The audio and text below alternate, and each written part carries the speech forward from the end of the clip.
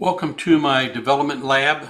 This is where I sort out most of the issues and challenges with RS Logix 5000, RS Logix Studio, and hardware, and RS Linx, Factory Talk Links, etc.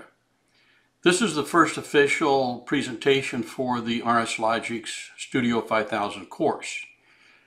Uh, there are a couple other videos that uh, I've already produced one on the difference between RS Logix and Studio. So you want to watch that one. I'm not going to repeat that information in one of these presentations. And then uh, another one on what's the minimum hardware and software that you can purchase in order to learn with. Because there is no free version of RS Logix or Studio 5000. Now the original manual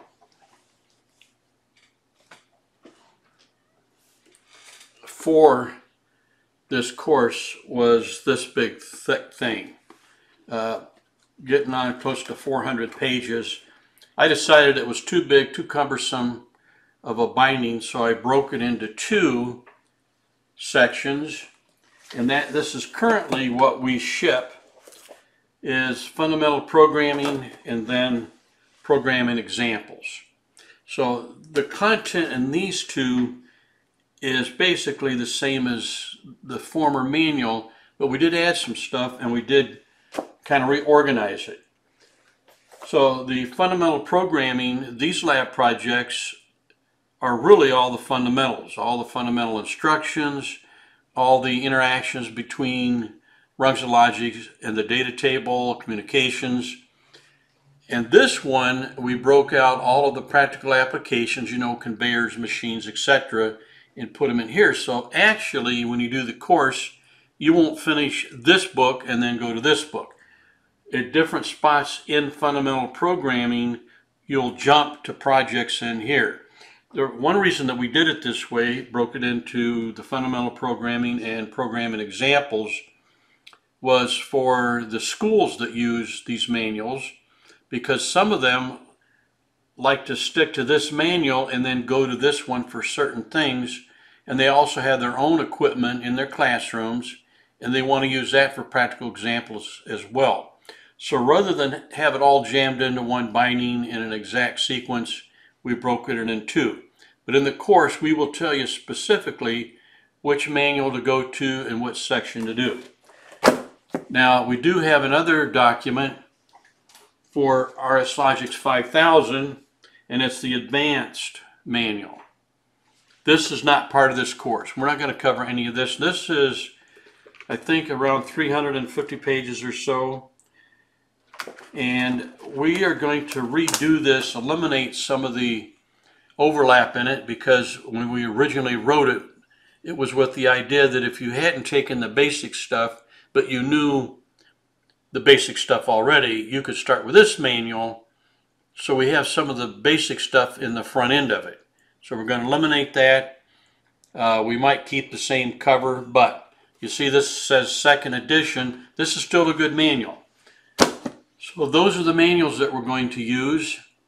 And this first lecture, we're going to look at RS Logix 5000. We'll touch on Studio, but primarily we're just looking at RS Logix 5000. Now remember, uh, that Studio 5000 looks the same as RS Logix 5000 until you get up to version 30, 31, 32, and then they kind of change the format a little bit. Uh, it still works exactly the same, but the colors are different and the graphics are slightly different and they have some tabs, uh, which I kind of like the new interface. But for learning, you're probably going to be learning with version 20 which is strictly RS Logix 5000 because the hardware that's the least expensive for you to learn with does not is not supported by the newer versions. Uh, but you've not lost anything if you get like an L31 or an L32E and you learn with version 20 on that hardware platform. You will be money ahead to buy the less expensive hardware to learn with. So let's jump in here and start looking at RS 5000.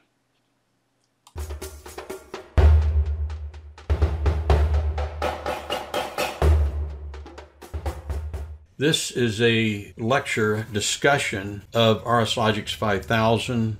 We're going to go through and do a cursory discovery of RS 5000. We're going to discuss it first from a philosophical standpoint. That is, you look at the screen, you see we have RSLogix 5000. Looks like everything's grayed out. And notice none of it responds to a mouse over. That's because the focus is not on this window. If I click anywhere in here, now you see that these are no longer grayed out.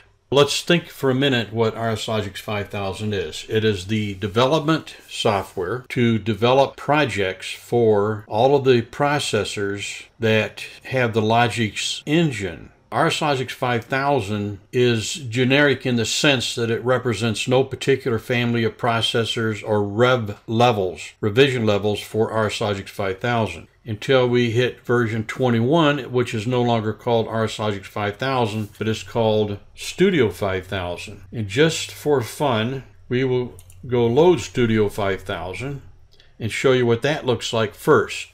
Now, if you are using Studio 5000, then you're very limited as to what processors you can use. So I already have a, a project in there, Tim's Folly, but I'll say new project. Now here's what I want you to notice. For CompactLogix, you can only use, in other words, Studio 5000 version 21 and up, only supports 5370 controllers for compact logics. For ControlLogix, it supports the 5570, or you could say the L70 series. And we don't care about SoftLogix in the course of these lectures. A 1789 L60, well, that's not really a controller. That is just a venue. It's a shadow of what a real L60 is as far as the executive software goes. You see, you're very limited with Studio 5000. And since we are working almost strictly with CompactLogix, that is your choice. We are using some of these 1769 L1, L2, and L3 processors in some later volumes of this series. But for today, it's enough to show you that you're going to be limited for processors. You can't use any of the older processors. We'll give it a name, call it Student Intro, just so you can see and we'll save it. We gave it a name. Next, we're not going to do any of the security. We're going to say no protection and we're going to say uh, zero modules and finish. I kind of stumbled through that a little bit because I don't use Studio 5000 much simply because most of the projects that I'm working on working on, the customers want version 20. They, they don't want to step up and get involved in Studio 5000. For learning purposes, we really do want to stick to version 20 of RS Logix 5000. Now, you see up here it says Logix Designer, Student Intro. Okay, here's what I wanted you to see. Take a good look at this, because this is not going to look any different than what we're going to use. Look this over you know, I just take a mental image, a snapshot. Now I'm going to close this. Okay, I just wanted you to see where you end up. Now we're back to 5,000 here. I just shut down Studio 5000. We're back to RSLogix 5000. And you'll see once we create a project, it doesn't really look much different. So the graphical user interface between RSLogix 5000 and Studio 5000 has not changed much at all other than the opening images of how you select projects, select your processors, and you saw that when we opened up Studio 5000. RSLogix 5000. When you're learning to use RSLogix 5000 for the first time, and maybe the second and third, you, you want to start by imagining what it is that you want to do with RSLogix 5000. Because this is a beginner level course, we're not assuming that you have programming experience. So we're trying to get you in the mindset of learning conceptually and not procedurally. I learn everything by concept, never by procedures. The procedures come after I understand the concepts and then I think my way through what I see on the screen and that becomes a procedure. But I never memorize a procedure. It becomes instinctive but not memorized. Some people learn by procedures. They want step one, step two, step three. step 3A, step 3B, step, and so on. I don't learn that way. I don't teach that way. I try to teach you the concepts. If you want to develop a procedure, that's up to you. So let's look at this screen here. Remember, there's really only one thing that you can do with RS Logix 5000, and that is work with a project. A project for RS Logix 5000 contains files. If you were working with a word processor, it would be much more obvious, more apparent what the menu choices meant.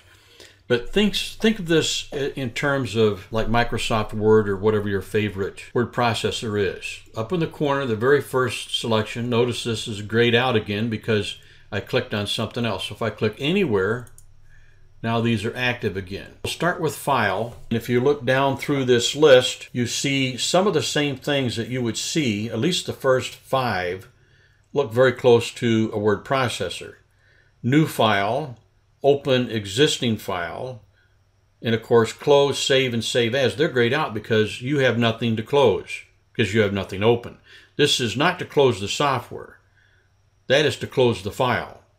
Save and save as are grayed out because you don't have anything open, as I said, to close much less save or save as. Don't let some of these fool you because if I mouse over it looks like there might be something there, but there's not. Notice that everything is grayed out. If you have no program open, you have not created a program, you know, there's really not much that you can do. I mean, there's nothing to print, and there's no print options. These choices down here, these just happen to be the projects that I worked with most recently. This one, Digital Field Device Simulator, one of the products that we sell for developing your own lab station or buying a complete lab station with digital interface and analog interface is and this little program is just one to download into any controller to kind of test out and run your digital field device simulator through its paces. So these are the most recent projects that I've worked on. I could open up one of these from here or I could click here and I could open and then go drilling around through my hard drive, through external hard drives, even online, and find a project somewhere that I want to open. For you, the only thing that you really have is new because you, you don't have any projects created, none to open. Now, depending on what version of software you're working with, you may have some sample programs or demo programs that you could open. We'll just assume you don't. But let's get on to edit. Well, I have nothing open, therefore there is nothing to edit. Think of your RS Logix 5000 project as a document or a package of documents. If you don't have it open, if you don't have anything created or open, there's nothing to undo, redo, cut, copy, paste, delete, insert, look at the properties up, or change the properties of that document. Now remember, the controller is part of that document. Later on, you'll see that this button right here is also controller properties. Controller properties, controller properties. Usually with Windows, there's more than one way to get to where you want to go, more than one path. Okay, so there's nothing you can edit. View, you can set up toolbars here. See, I have toolbars. Even though I have no project open, that doesn't mean that I can't work with a basic graphical user interface like start page, watch panel, search results. But really, these are worthless right now because you don't have a project open. You could go to toolbars and tweak what toolbars are shown up here. We won't for now. And of course, you could go to search. Well, that's all grayed out. You don't have a document open. You don't have files open. There's nothing to search. You could go to logic here. You see these are all grayed out. If you go down to verify, see it's misleading you think that there's something there, but you're going to find they're all grayed out because there is nothing to work with.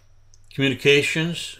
Now here you actually do have something to work with. You want to be careful what you do from here. Now the safest thing to do is go who active. If you select recent path with no project open, it's going to select the last pathway that you worked with with RS Logix 5000. Now, if you've never worked with RS Logix 5000 before, and this is a fresh, clean, untouched license of RS Logix 5000, there is no recent path, so it's probably going to go to a default path. If you go, say, go online, that is automatically going to select the recent path and try to go online with whatever processor is hanging around out there at the most recent path. It just so happens I have one out there, so I could click on that, and even though I have no project open, it will go out and find that, and then it'll want me to select a project. One thing that you may not know yet is there are no online projects, only offline projects. From an offline project, you create files or file to download into the controller, and that is a online file, an online program. But when you are looking at the program, working with the program, you're looking at the offline project. With no offline project, you aren't going to do anything. If you just try to go online with a controller right now, if it doesn't see that you have a matching project offline, you're not going online with it. We'll leave those alone for right now, and we'll just we'll we'll jump back here though. Well, tools, we don't want to get into discussing this, but you can see there's nothing to import, there's nothing to export because you have nothing open. Uh, there's nothing you can do with motion, and we don't want to get into discussing these tools down here. You do have options though. You could click on options and you could start changing how your graphical user interface looks. You know, the display, how the ladder editor looks, what it shows, what it doesn't show, fonts and colors. We're not going to do that right now. And then window, there's nothing. And help, well, help is always there. At this point, I don't know what you would be looking for in the way of help. However, I will tell you this. If you go to Resource Center, this can vary based on whether or not you're online. Okay, see there's a problem with Adobe Acrobat Reader. If it is running, please exit and try again. That has nothing to do with our course. So the Resource Center over here has choices. If I go to RSLogix 5000, it takes you to a web page at Rockwell Automation. You can't just wander around aimlessly through Rockwell Automation website unless you're logged in. So it will allow you into a certain distance into the website, and then you're going to have to log in. If you haven't created a, a login for Rockwell Automation, well, you have to go do that. You have to register, create a username, password, etc. Then you can wander around a little bit more. You'll see there's late breaking news. Uh, not all of these pop up something. Uh, most of these have shown me no value personally. However, see, you can go up here and you can select for Studio 5000 Logix Designer. That's what we're in right now. Or you can check out RS Logix 5000, etc. Tech notes. You can search the knowledge base. This is really a handy at-hand portal into this, but you're going to have to log in to actually get any information. If you want phone support, you know, you're going to find the phone numbers in here, everything ready to go. We're not going to go through the rest of these. Uh, downloads, you may or may not find something. It just depends on how you're connected. Now see here, free downloads. Everybody wants to find free downloads. Well, if I go to free downloads, I'm not going to find a whole lot. Software downloads by serial number, you need a license and need to be registered. Optional tools. So here's more things that you can select. Product drawings, product selection, system configuration. Now online books if you have those loaded, see, it's not, I've got something going on there with Adobe Reader. I'm not able to open up any of these. But if you have the online books loaded onto your hard drive, then you can access them from here. We'll let it time out to see if it's actually going to find anything. Now, I would expect the literature library, that to be a link to go online to Rockwell Automation. There you go. Okay, so it does work. That has this has nothing to do with Adobe Reader because I'm opening up a web page at the Rockwell Automation website. And from here I can search and find manuals. And of course catalogs, I'm not going to open this up. As a matter of fact, I'm going to close the start page to get rid of it. And I want to go back to communications. We did help, right? Online books. Oh, by the way, you can do vendor sample projects. Uh, that can also be interesting, except you see here that it's coming up unknown URL. This is, these are sample projects that I have loaded. So here's one generic profile example. This is for the combination analog card. So if you just slip up through here, CompactLogix IO example. These examples are all available to you to download and have at your fingertips. Okay, that's this the main menu up here. Now remember, we don't have a project. We have not selected a project. We, the start page is showing, and we could go back here, but it's it's showing an unknown, unknown URL. Now that may not happen on your computer simply because you have a different path or different connection. Let's go back to communication, something we could have done. I can go to Who Active, and it's going to bring up Who Active, which is really, it's the RS Who application, but it's opened up inside of RSLogix 5000, so it shows Who Active. Basically, it's just showing what drivers you have. We have a, a DF1 driver, that's RS232, we have Ethernet. Now this is not Ethernet IP, this is Ethernet devices. Okay, right now we're browsing DF1. If I go to this one and expand it, I'm, I'm not going to find anything because I don't have anything connected to Ethernet. If I go to this one and expand it, I'm going to show that I have a connection to a processor. Now that doesn't mean it's an L31. That's the name of the project. And once you name the project, the name more or less sticks unless you go through some work to change it. But I definitely have a CompactLogix processor out there. And if I expand a little bit further, and I go to backplane and expand the backplane, and then I go to my local bus adapter. That's not actually a separate module. And L31 is a single module that connects to a power supply, and then you can add additional 1769 I.O. modules. So the bus adapter is part of the processor. The bus adapter, we have a local bus, 1769 bus. So if I keep drilling down, remember, you have no project open. I'm just, we're just going on a little discovery trip here. So here's what we found. And, and by the way, if this did not exist out there, you would see big red X's. Just for grins, I'm going to unplug that processor. I just pulled the cable loose. Bang, red X that means it's not available. If I collapse that back down, see it's saying it's trying to connect to the device. It's not going to. I'm going to cancel it because I know it's not there.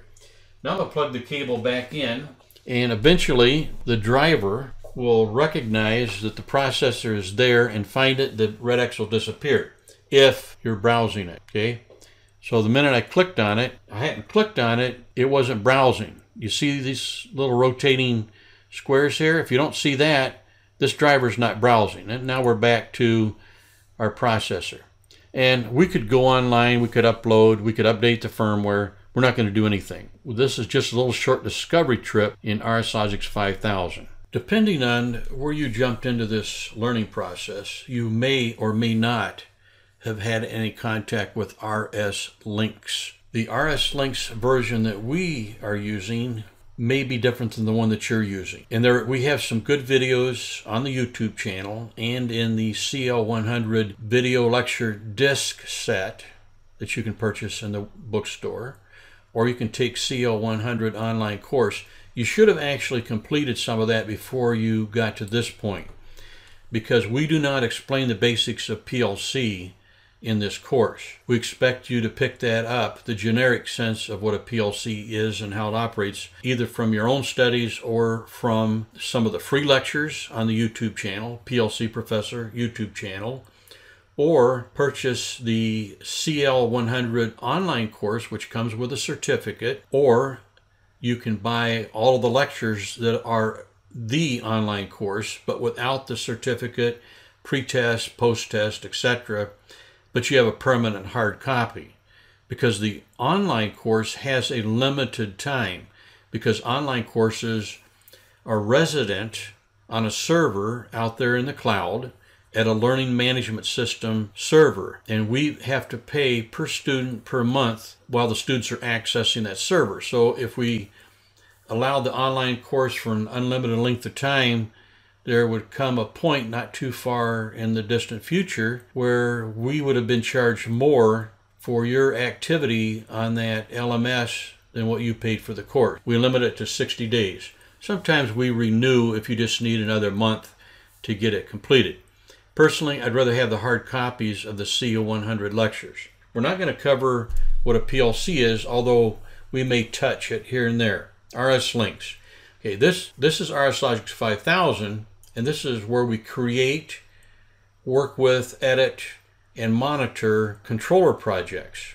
However, this does not have communications with a controller without RS Linx. So when I went up here and clicked on communications and did Who Active, I opened up our RS Who.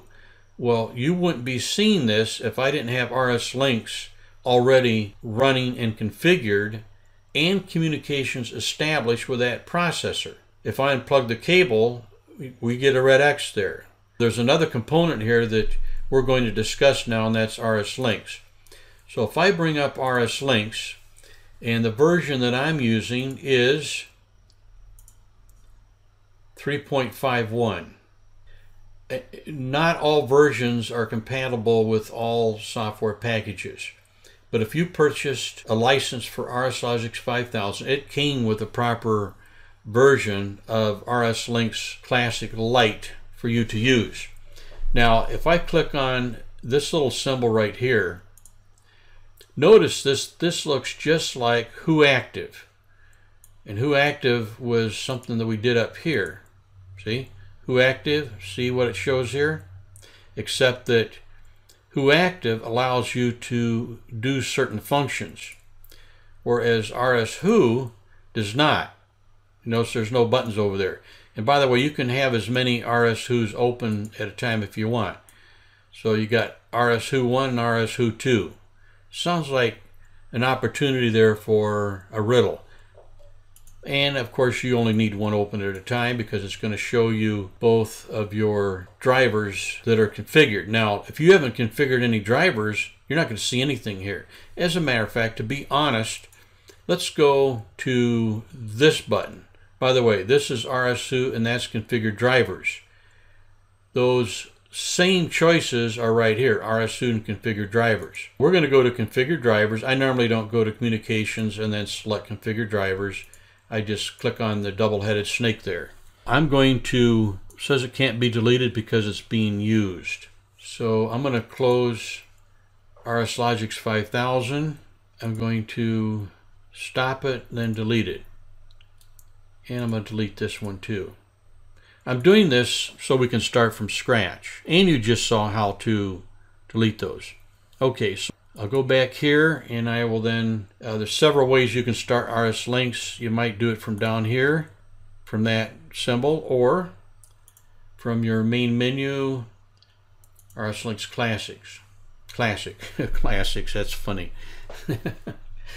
There's some classic stories for people that use RS Linx, but there's no RS Linx classics. We open up RS Who, and there's nobody. And we'll click on it, but there's nobody to browse. There's no drivers to browse. So let's go to Configure Drivers, and you see we have no drivers. And we're going to pick RS-232 DF1 devices. W without exception, all Allen Bradley, i.e. Rockwell Automation, PLC controllers, PAC controllers, all have an RS-232 port somewhere on them. RS-232 is the easiest to configure. With Ethernet, sometimes you have to know the Ethernet IP and a few other things to to connect with the controller because you can't change the IP address in a controller unless you can connect with the controller. So it's like you can't call someone to tell them your address to come pick you up if you don't have their telephone number.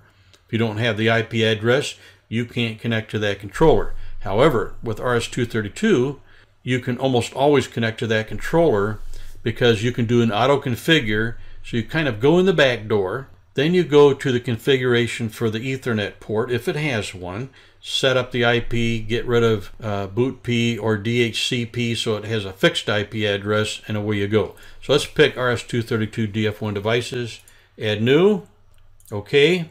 This is where you do actually have to know something. I could pick auto configure, but I, I know what it's going to do.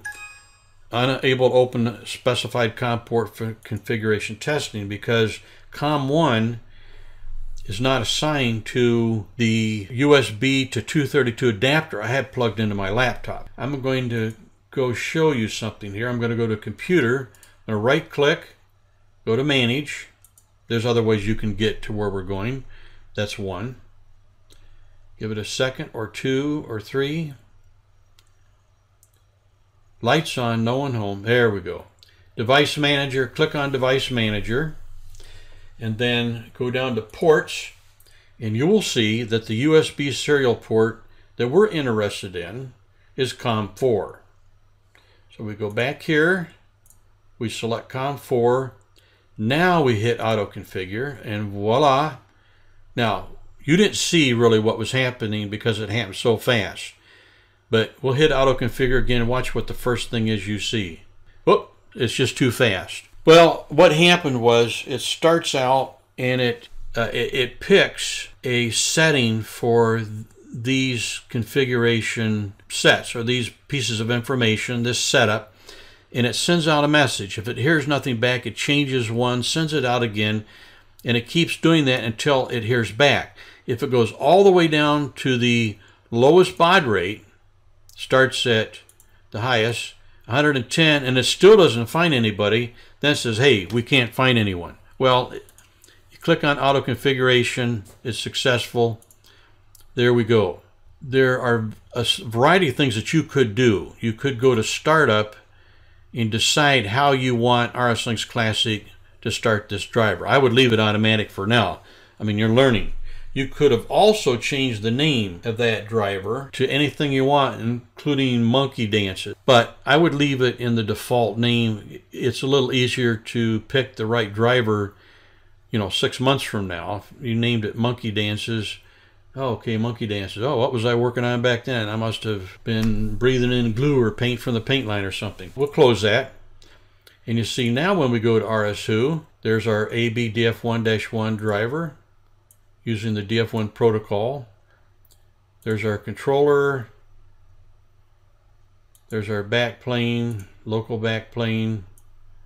There's the backplane bus. And there's the processor right here. Here's the processor. Now, notice it says Compact CompactLogix processor, Compact CompactLogix processor. Well, that this is not the processor. This is. This is a placeholder to show what slot the processor is in.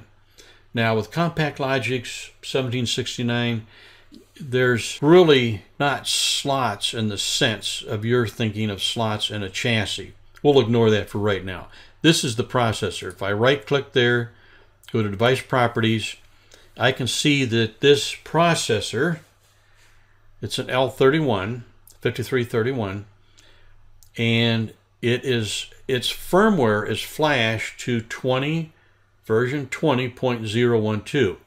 Now this is something you can check without actually having RSLogix 5000 open and you may need to do this because if this was something you bought used which is fine used processors work good and it was flashed to version 13 you buy it you're not going to be able to communicate with it because you don't have version 13. So you're going to have to flash the firmware.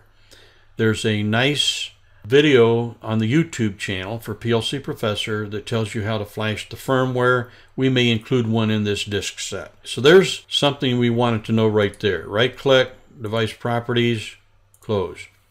And see if there's anything else here of interest. Nope. See, now here's where we can look at our I.O. modules. These are the actual I.O. modules that RS Who found. I can right click on them, go to device properties. I can see that's revision level to two major and one minor. I can go to this module and do the same thing. That's major revision 1, minor 1. When you are this far where you can expand a driver and expand your processor and see all of this, you know that your computer is communicating with that processor. That's step number one. And remember, this is how you check. Now, if you move your USB devices around, let's say you plug in something else like a keyboard into that port and put the RS-232 USB adapter into a different port, it may show up as COM7. So don't just assume it's always going to be COM4.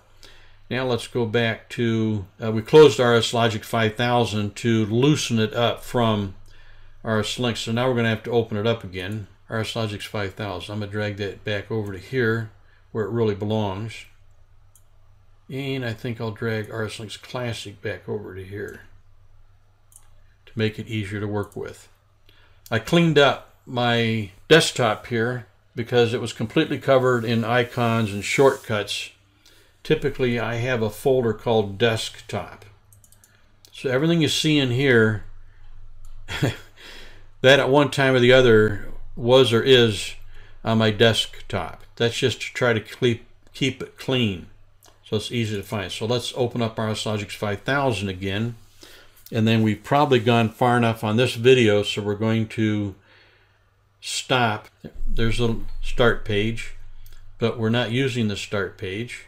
And now we're to where we want to create a new project. So I'm going to pause here and we'll come back in another video to continue. Thank you.